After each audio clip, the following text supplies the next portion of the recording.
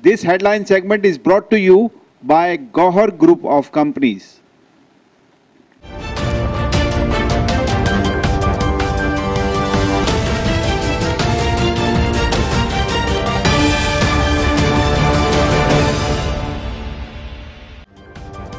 वालेकुम नाजरीन मैं हूँ अथर शेख आप देख रहे हैं फाइन टीवी हेडलाइंस 400 पाकिस्तानियों की ऑफशोर कंपनी में 50 अरब डॉलर मालियाती असासों का इंकशाफ। नैब ने तहकीकात शुरू कर दी। चेयरमैन जस्टिस जावेद इकबाल की हिदायत पर नैब हुकाम पैनामा पेपर्स की रोशनी में सात मुख्तलिफ़ वॉल्यूम्स की तैयारी में मसरूफ। एन टी एस के दफातर पर नैब और एफ़ बी आर हुकाम के छापे। सरबरा समेत चार मुलाजमीन गिरफ़्तार। रिकॉर्ड कब्जे में लेकर छानबीन शुरू।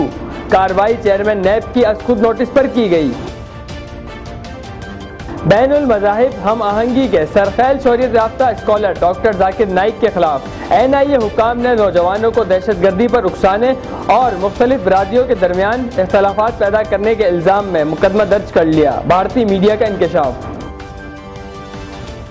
मकतूल अमरीकी सदर जॉन ऑफ़ कैनेडी कत्ल केस की तफसीत जारी करने का फैसला। सदर ट्रंप ने अट्ठाईस सौ दस्तावेजात के इजरा पर दस्तखत कर दिए। ताहम एफ़ बी आई और सी आई ए के रिकॉर्ड खुफिया रखा जाएगा। अडियाला जेल के पाकिस्तानी कैदी की अमरीकी हवालगी का नोटिफिकेशन इस्लामाबाद हाई कोर्ट ने मुअत्तल कर दिया। मुजाहिद परवेज को चीफ कमिश्नर इस्लामाबाद ने अमरीका के हवाले करने का हुक्म दिया था। स्टॉक मार्केट में शदीद मंदी 100 इंडेक्स में 870 पॉइंट्स कमी, सरमायाकारों के सवा खरब डूब गए 200 कंपनियों के हिस्से गिर गए। साइबर क्राइम की रोकथाम का जिम्मेदार, सूबों ने वफाक को करार दे दिया।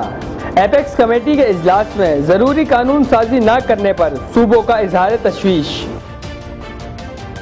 ये थी फाइन टीवी हेडलाइंस। देखते रहिए फाइन टीवी।